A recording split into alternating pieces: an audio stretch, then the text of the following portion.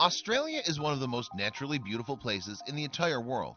Its climate, topography, and wildlife are unlike any others found anywhere on Earth.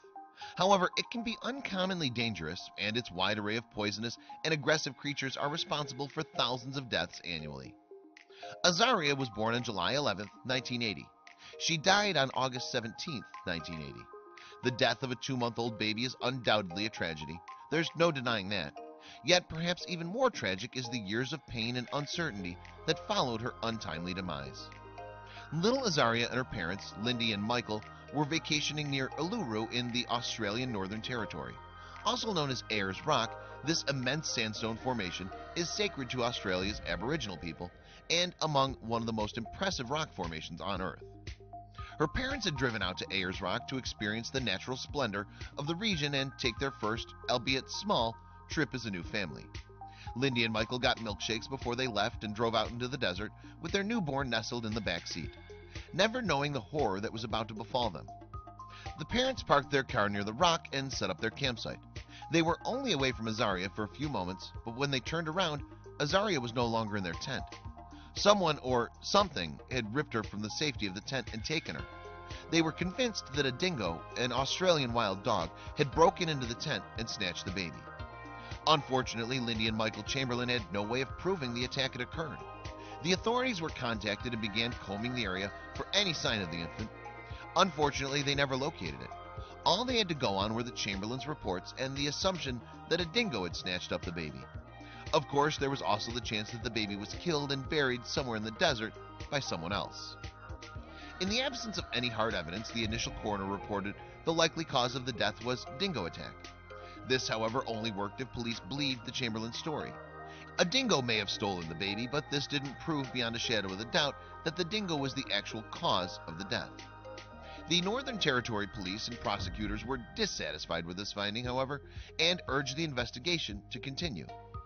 Ultraviolet photos of the baby's jumpsuit, as well as a small amount of blood within the tent and indeterminable wounds on her neck, all brought investigators to a very different conclusion.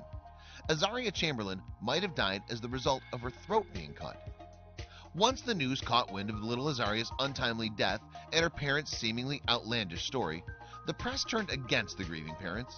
Public and media attention on the situation polarized the entire nation and even brought up some disquieting rumors about what really might have happened. Fanciful rumors, sickening jokes, including cartoons, seemed to be surrounded by tragedy.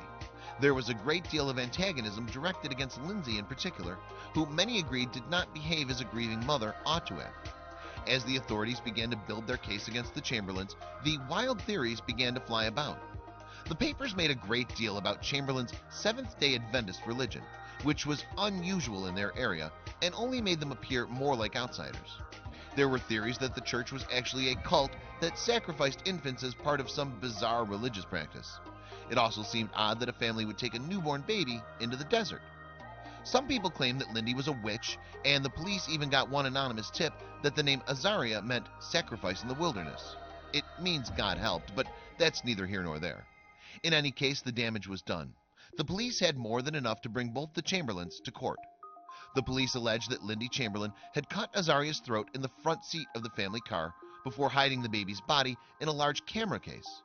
Only once she'd made it back to the campsite and run into other campers did she finally set up the crime scene so as to make it appear that a dingo had broken into the tent and snatched the baby.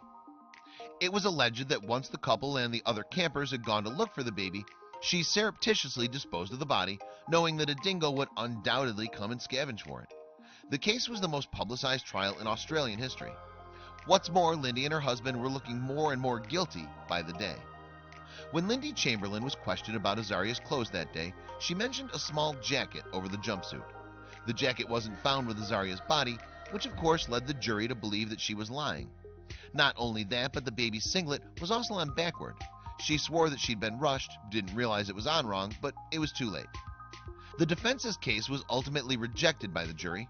On October 29, 1982, Lindy Chamberlain was convicted of murder and sentenced to life imprisonment.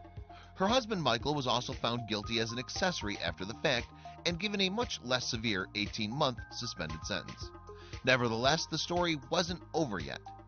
In 1986, an English tourist named David Brett fell to his death while visiting Ayers Rock.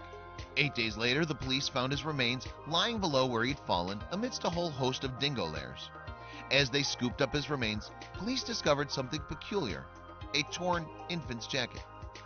The clothing was the missing piece of evidence that the defense needed. It rejected two key points of the prosecution's case and of indicated bias and invalid assumptions made during the initial trial.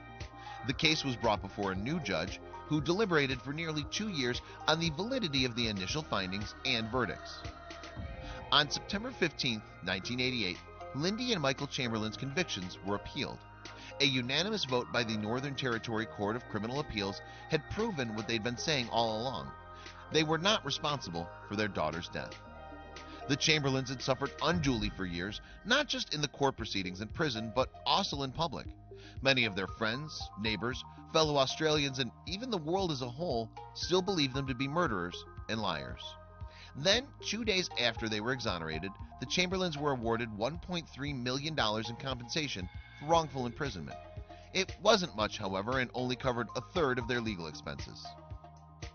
In 2012, which was about 32 years after Azaria's death, the Chamberlains' version of events was officially confirmed.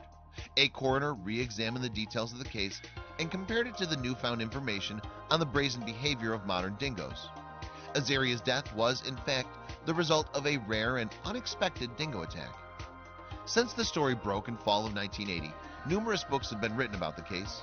It's been made into a TV movie, a feature film, a miniseries, a play, an opera, and a concept album.